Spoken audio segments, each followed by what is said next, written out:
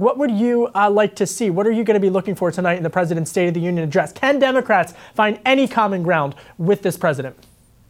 Well, I'd like to see him talk about unity, but frankly, throughout his campaign and throughout his presidency, we've seen none of that. And you look at this morning where he's already attacking uh, Leader Schumer, and it doesn't give me a lot of hope for that.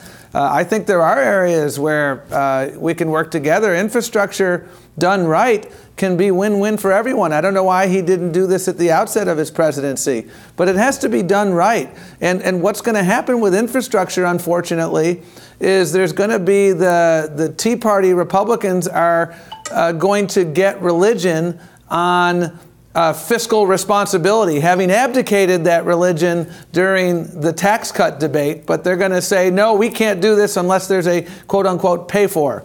And mm-hmm. that's going to be a challenge not among Democrats, it's going to be a challenge among Republicans. So, infrastructure done right can be a bipartisan issue. Uh, you know, in 2013, right. when I was working for Obama, you know, we uh, the bipartisan immigration reform was passed in the United States Senate uh, we should do that again. But uh, he's going to have to have a willingness to take on people on his right flank. He has not Mr. shown Chairman, that willingness, unfortunately. Mr. Chairman, I was speaking with uh, Senator Richard Shelby earlier today, a Republican from Louisiana, and he was, you know, quite candid with me in the sense that he said, we want to get the president to try to build some type of consensus to avert another partial government shutdown. He's trying to shake things up, so to speak, is what he said. But, I, you know, I got to be honest here. It doesn't seem like Republicans and Democrats are, are really anywhere close to getting some type of deal. What are you, what need, what does the president need to say tonight in order to get folks back on the right track to avert another government shutdown? Well, I mean, this has been a self inflicted wound from the president. He manufactured a crisis at the border in an effort to increase his leverage in conversations about uh, a political promise he made that has become a political trophy for him. If border security is your true concern, we could solve that problem because the best way to solve border security is with additional technology to make sure that we can catch bad guys, to make sure that uh, we are investing in, uh, in judges so that we can uh, more uh, right. rapidly adjudicate these cases to help make sure we're fortifying other areas. I mean, you know, roughly two thirds of the folks who are here without documentation didn't come at the border; they came through airports. So, uh, if, yeah. if that were the concern, we could we could solve this problem. The problem is it's a trophy, and it's not really anything else, and and that's where that's that's on him. That's not on anyone else. I want to pick up on this point. You, called it a trophy, but are we also, to some extent, playing a game of political semantics? I mean, it, it, whether the president's saying a smart wall or steel slats uh, or you know fencing at this point, I mean, it is c- kind of a. It's becoming quite a sophomoric debate. No.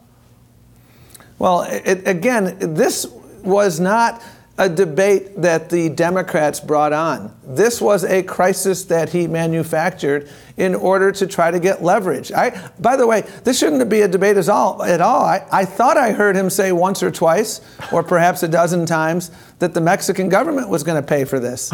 and so here we are. And so, you know, again, we, we have a proven track record on the issue of security. What we should really be talking about now and tonight is how are we going to make sure that people with pre-existing conditions can keep their insurance? How can we actually bring down the cost of prescription drugs? Because uh, the profiteering that's going on here is unconscionable. Let me ask you about trade policy. The president says, well, you know, and, you know, semantics aside, he says that USMCA or NAFTA 2.0 would pay for the wall. Uh, but Democrats hmm. are, some in your party are skeptical of, of USMCA or NAFTA 2.0. Do you think Democrats will ultimately get on board with NAFTA 2.0, or is it still have a long way to go? Oh, I think it has a long way to go because yeah. the notion that NAFTA is going to pay for the wall, I mean, don't take my word for it. I mean, a number of independent experts who've looked at that have said uh, that's just not the case. And so, yeah. uh, you know, we, our North Star in trade is uh, the American worker. How do we make sure that we're uh, protecting the American worker? I think that's the most important interest we have to continue to look out for. Chairman Perez, you'll be with Speaker Pelosi later tonight. Last question for you. Another area of bipartisanship. A lot of folks in the business community want to know is there any bipartisanship that could occur on the issue of uh, pharmaceutical companies and drug pricing? I sure hope so because it is such um, an important issue. I can't tell you the number of people who talk to me in particular about insulin uh, diabetics who've seen the cost of insulin skyrocket. And uh, there are a host of things that we can and should do. I mean, why doesn't the federal government use its purchasing power to negotiate uh, lower prices? That, that's nuts. By the way, the VA does it. Uh, so we're already doing it in some programs, but not others. There, there are so many things that ought to be done, and the reason they haven't been done is the pharmaceutical lobby has been uh, just dead set against it. We, we've got to put the, the people ahead of the pharmaceutical companies on this.